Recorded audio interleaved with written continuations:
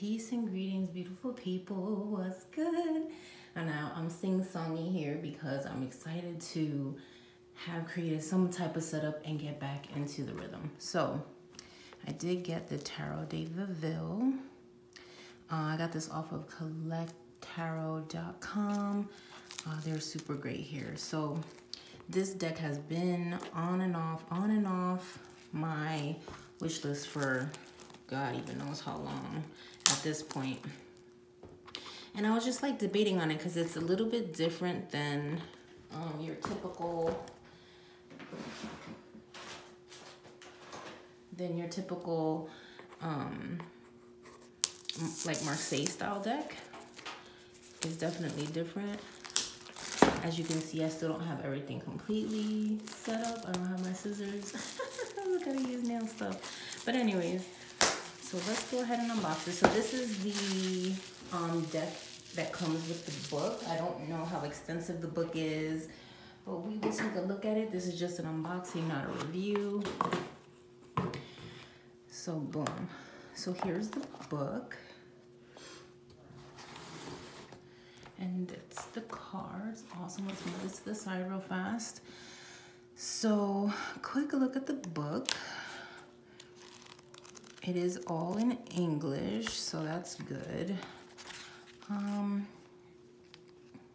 okay, it looks like this is the first edition. And uh, let's see what it says right here. Why choose the Jacques Vieville Tarot? What does that have to say? Uh, can a significant interpretation of the minor arcana be given with modern tarot cards that we have today? The answer seems to be no, since the majority of people who practice tarot readings use only the 22 major arcana. Then what can be the reason for the loss of interest in the 56 minor arcana? Quite simply a loss of meaning. If you compare carefully contemporary tarot cards with those of Jacques Vieville, the difference is striking. Modern cards have deleted most of the details that contribute to the richness of old cards. The result is that we are left with schematically or schematic stripped arcana that have become indecipherable. Hence, it can be said that the minor arcana of modern tarot are sterile, and it's not the case with the Vieville. Uh, here, a wide variety of details give coherent whole that can be understood if the keys for understanding and decryption are applied.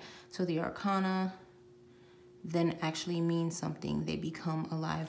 That's interesting. Um, honestly, it wasn't the minor arcana cards in this deck that actually made me feel like intrigued about the deck. It more had to do, it more so had to do with the, um, with the major arcana cards.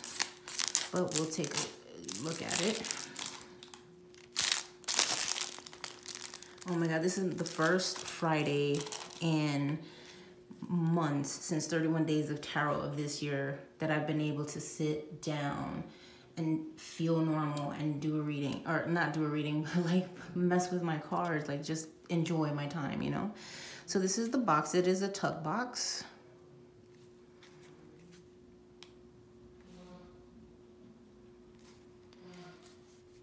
Okay.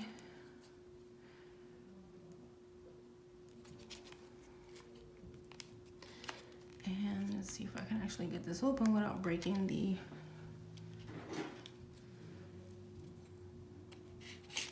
It's the only way to get tuck boxes open without ripping it. So use it use something flat like a like a knife or something. Okay, the cards here we go. All right. So they seem like standard, uh, standard size, just like a Rider-Waite Smith, um, except the edges are sharp, which is typical in most Marseille decks, um, or TDM decks, as I like to call them. So let's see. All right.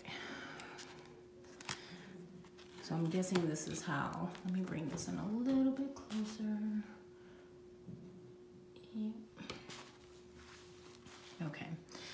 So then we just have a little title card. It says the Jacques Vieville Tarot made in Paris circa 1650 and conserved in the Bibliothèque Nationale de France is a rare example of a complete tarot deck of the uh, 10, 15, 16, the 17th century. Uh, Henry Rene, I cannot pronounce his name.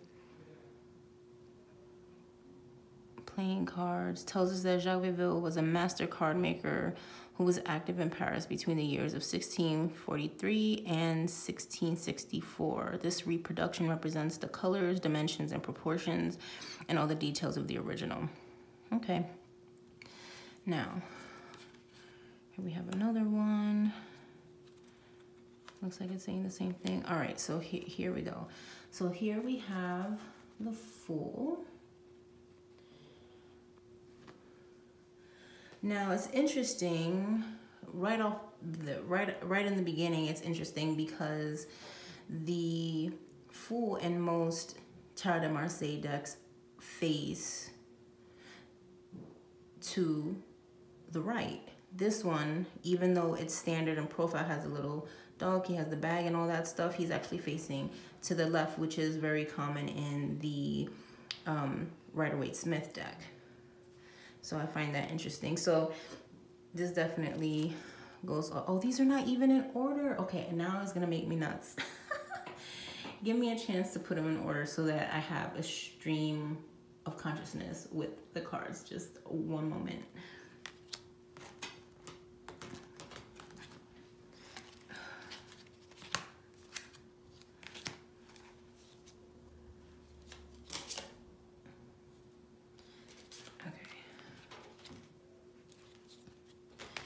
Actually it wasn't that it wasn't that serious. So actually what happens in marseille decks a lot of times is they put the Fool at the back of the major arcana instead of in the beginning like how we would get it unboxed for um, any Rider-Waite-Smith deck. So I just went ahead and fixed that real fast. All right here we have the magician. So we still have the standard like situation with the table and the three legs and all that kind of stuff. But the perspective is again facing to the left as opposed to the right, which is which is kind of so this would not detract me from using this, this deck. It's actually very intriguing. It's almost like um, a lot of things are made for right-handed people in life. If you're a left-handed person, you may be aware of this and you, you just learn to adapt, right? So I almost feel like this is what somebody would be like an attempt to make so far at this point, like a left-handed type of deck. And I'm not talking about the left-hand path and in that theory or, or that, um, matter of fact, I'm being very like literal when I say, you know, left-handed left-handed things and right-handed things are just a little bit different. And lefties have to learn to adapt because there's more right-handed people in the world than there are lefties. Just I am a left-handed person so I'm aware of these things. Okay so moving on let's go ahead and flip these so that we don't get distracted here. All right the priestess is not straightforward she's not as straightforward um, or centered. She's tilted off to the right a little bit. Um, there's something about the messiness of the colors. Is what I really like the uh, Marsiglia Svero, Svera. Um, I like about it is that the ink quality is just, it's like over the lines. There's something about that that brings a unique feel. Here we have the Empress. She's straightforward as opposed to um, being tilted a little bit.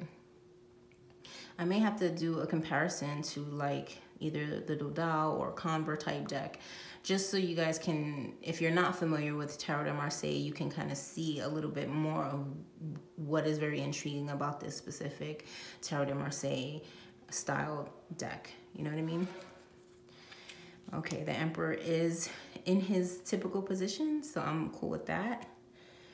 And notice and Tarot de Marseille decks as well. The numbers, the, the Roman numerals, they add up. It's not like, um, you know, one slash and a V, which would be five minus one is four. It, it There's a progression as opposed to um, a subtraction. Here's the Hierophant.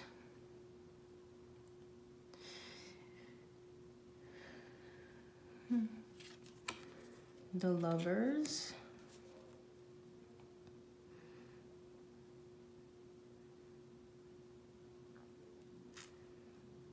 Trying to remember if this is if this one is like style one or or style two with the Cupid. Uh, yeah, I'm gonna have to do some Marseille base decks. So uh, Justice,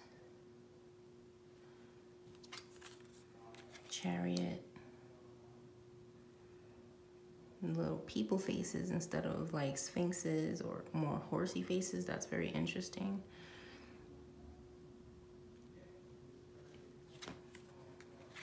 Strength. Now this strength card, okay, wait a minute. what is happening here? So this strength card is very interesting. This looks like almost like a battle royale. Like you can't get your cat to like take their medicine or something like that. The paws are like like out, like very scrappy. And on top of that, I don't think I've ever seen in any Marseille deck ever, this is making me chuckle, is the foot coming out of the clothing like barefoot like no shoes there's like toes and everything. This is really interesting. Um i think this sticks out to me because this year for me has been um an eight year. And that would be either the strength card or the justice card.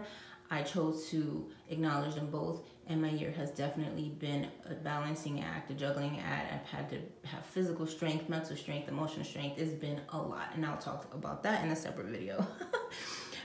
so the barefoot thing is kind of making me chuckle internally right now. Here's the Wheel of Fortune. There's a very almost Picasso-esque thing going on in this particular card. Um, all the elements are there, but they, they're just off proportion, you know? It, it actually makes the deck very charming. Here's the Hermit. Hmm. The Hermit is facing to the right as opposed to the left. Um, the Hermit for me has always been very significant and I want to say across the board they're usually facing to the left um, in all the traditions that I'm aware well maybe not Thoth but I know right right away and Marseille for sure. Um, so this is interesting. And, and I think the reason why is like one of the definitions that I use for the hermit is father time and or wisdom. And the thing about wisdom is it comes with experience, it comes with time. Um, and so the only way that you have that wisdom is to have that retrospection to look back you know, as to where you came from, the journey you came from. Um, but at the same time, I think this is a little bit liberating in a way because even though there's wisdom and there's, um, you know, you carry, you still carry that forward with you. It's important to carry it forward with you not to get stuck just always reflecting back on it. So I, I really actually like this. I don't know, I may have a new, a new best friend here. Here we have the hangman. Um, so again, unique structure, uh, unique things here. This is the way it's supposed to be.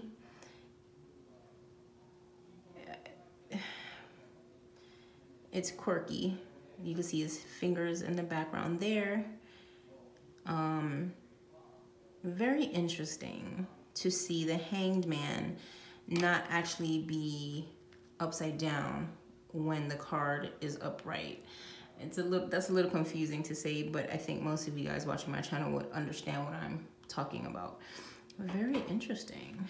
This is such a unique deck. I will say that. Here is our friendly Reaper. Hello Scorpio season. Um, I like, ooh, I really actually love this death card. Oh my goodness. What I really like about it is you can see the skeletal structure. The blacks are like really black, the black outlines are really black and his face has this decomposing type of, of quality to it where you see the skull, but you see the flesh color as well. Um, and there's a lot going on in the ground. There's heads buried, there's hands sticking up from the ground. This is, that's, that's a great, that's a great card. I like that. We have Temperance. And there's the two canisters right there. Wicked Devil card. He has the beast in the belly. He's not face forward, which is in most cases he's facing forward. He has like the two little, you know, you could call them people, you could call them um, demon, demon, demons, whatever you want to call them. Um, but there's not that here, except there's faces in his knees. There's a there's a beast or face in the belly, excuse me, which I like to call the belly of the beast. Very, this is very interesting. I wonder what kind of readings I would get from this one. So here is the tower. Um, I know Patrick Valenza in his Trionfi della Luna, in some of the extra cards, he has the the lightning as opposed to the tower. You could, you know, switch either one out. He has like a traditional one or not. So this is very interesting for the tower. Um, this would always catch me off guard if I were to pull this in a, in a reading with this deck. I mean, I could get used to it, but you don't actually see the lightning. It looks more like like sun ray, sun rays or something coming down from them. Oh, I need to study this guy. This is the star. So this one was always very, I think this is the card that made me kind of go, yes, no, do I want this deck, do I not want this deck? I'm so used to seeing the woman pouring the jugs, um, you know, with this with the stars in the sky, whereas this one um, depicts basically an astrologer looking up to the sky.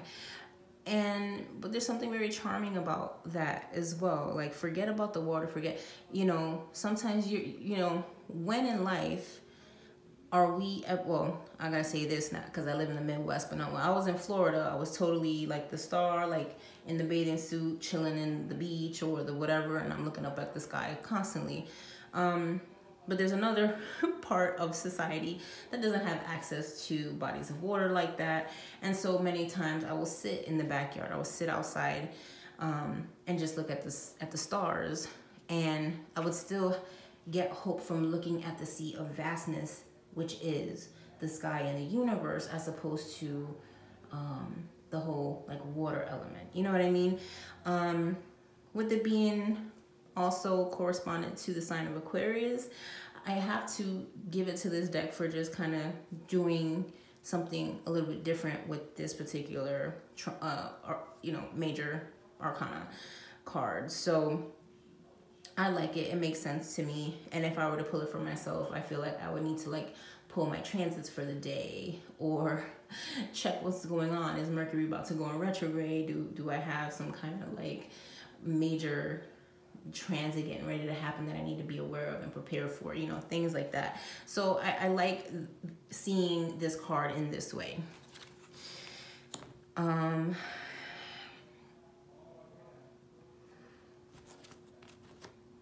so there's the moon, there's the sun. Very similar um, in structure, the people, the, the, the, the figures are facing up. This sun looks super mean. Okay, I'm not even gonna lie, that face is killing me right now. It's just like, what? The face is going, what'd you say to me? um, and the moon, I don't know if you guys can see that so well. Not sure what that face is with the moon. I don't know if it's kind of like, meh, whatever, I'm here. But I, I do find it interesting that like the use of colors, like you see there's like this gray on this horse or whatever, and there's gray in the moon, but instead of these rays, these moon rays being maybe gray and gold or gray and like clear, you know what I mean? They're red and yellow which I mean, it technically makes sense because the moon is a reflection of the sunlight, but that's not the color that it emulates when you see it being full. So anyway, I'm being a little bit picky here and talking a lot of crap, but very interesting this um, parallel that these two cards have. Here we have Judgment. All right. And the world. So the leg's not crossed, but everything is there. So very interesting um, journey through the majors. Um, and I am going to quickly go through the minors, okay? I'm not gonna super study them all, but the book did say something about the, you know, it not being sterile, so we'll see. So, classic. So there's a lot of foliage happening. But I think most decks have a lot going on in the minors. It's just a matter of finding how it speaks to you as opposed to, I don't know what they mean about modern decks being stripped down. I, I really don't. I don't get, I don't understand that.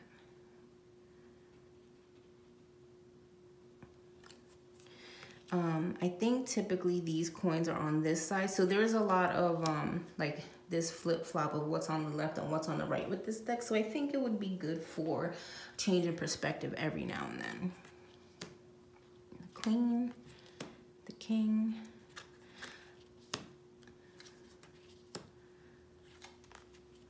Everything's off center. It makes it feel very organic.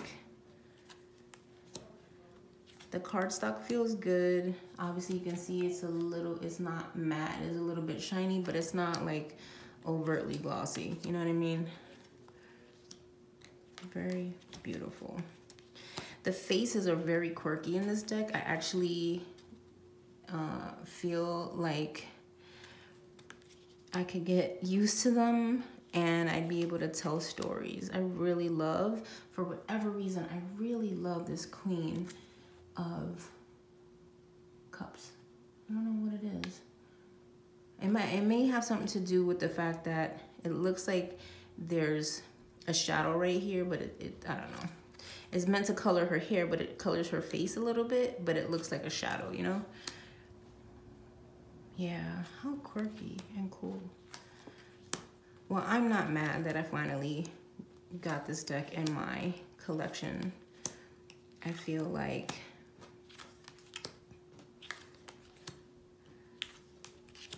I feel like I'll get some good use out of this when I'm feeling like maybe an off day or an exploratory day. This horse is out of control. Oh, I'm sorry. This horse is out of control. Queen of Wands. King. I'm sorry, this King of Wands looks like he has a Napoleon complex. I can't, I'm sorry. I can't. Oh, So,